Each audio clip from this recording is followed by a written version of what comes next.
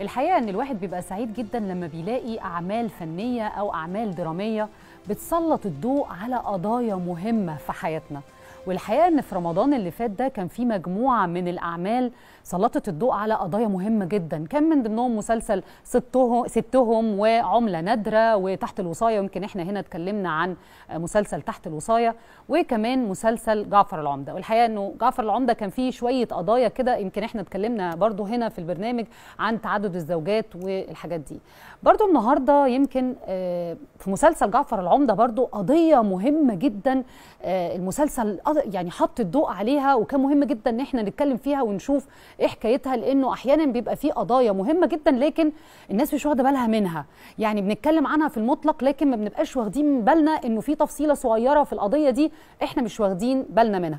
إيه القضية دي لما اتفاجئنا كلنا ويمكن ده مشهد شهير في المسلسل لما لقينا وداد قاعدة في فرح بتتجوز واحد تاني وهي أصلا اوريدي متجوزة.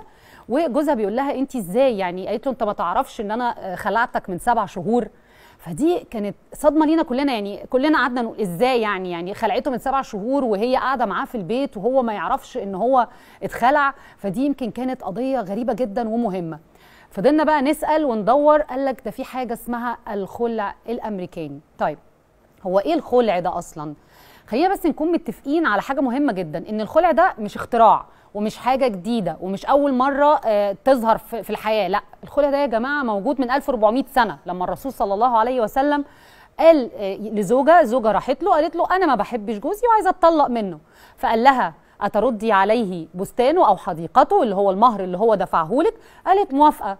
فالرسول أمر بطلاقها اذا الرسول صلى الله عليه وسلم أقر الخلع من 1400 سنة.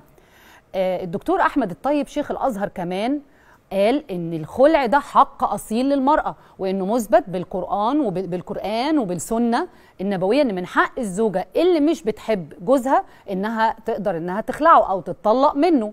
يعني هو الخلع في النهاية هو طلاق مع اختلاف المسميات. وقال كمان إن من حق الزوجة زي ما جوزها من حقه إنه يطلقها إذا ما بيحبهاش أو بينهم أي خلاف من حقه إن هو يطلقها في أي وقت. كمان الزوجة من حقها إنها لو مش حابة جوزها إنها تقدر تخلعه. إذا فإحنا قدام قضية مهمة جدا وإن الزوج زي ما هو من حقه يطلق الزوجة كمان من حقها تطلق وده مثبت بال مش بس بالقانون بقى دلوقتي لأ ده بالقرآن وبالسنة. طيب دايما هنلاقي في كل قانون كده ثغرة ثغرة رخمة. لا تبقى عارف لا تبقى عارف تخليك تقف مع القانون ولا تقف ضده. طيب إيه بقى حكاية الخلع الأمريكاني ده؟ اللي بيحصل في الخلع إن الزوجة بتروح للقاضي وبتقول له أنا عايزة أتطلق أنا مش بحبه وعايزة اتطلق والمهر طبعا أنتوا عارفين إحنا بنكتبه 25 قرش كده في في قسيمه الجواز. فردي عليه المهر ماشي تمام 25 قرش. هو اتفضل يا عم جنيه من عندي يا باشا ولا يهمك. وتت... و... و... ويقر القاضي بإنها تتخلع. طب إزاي بقى؟ إيه الإجراءات اللي في النص؟ شرط أساسي وإلزامي في عملية الخلع إن الزوج يعلم بان الزوجه رفعت عليه قضيه خلع أو بتطلب الخلع. بغض النظر عن ان الحكم في الآخر هيبقى في صالحها لكن الزوج لازم يعرف علشان ما تتكررش القصة اللي حصلت في المسلسل. إيه اللي بيحصل بقى؟ اللي بيحصل إن المحكمة بتبعت جواب أو اختار للزوج بتقول له إن أنت مرفوع عليك قضية خلع. طيب الزوجة هنا عايزة تتطلق بأي طريقة؟ بتعمل إيه؟ بتدي للمحضر حاجة اسمها عنوان وهمي. يعني لو انت ساكنة مثلا في مصر الجديدة تقول له ده ساكن في الشيخ زايد. يروح المحضر يبلغ الزوج طبعا مش هيلاقيه. ودي مش مشكلة.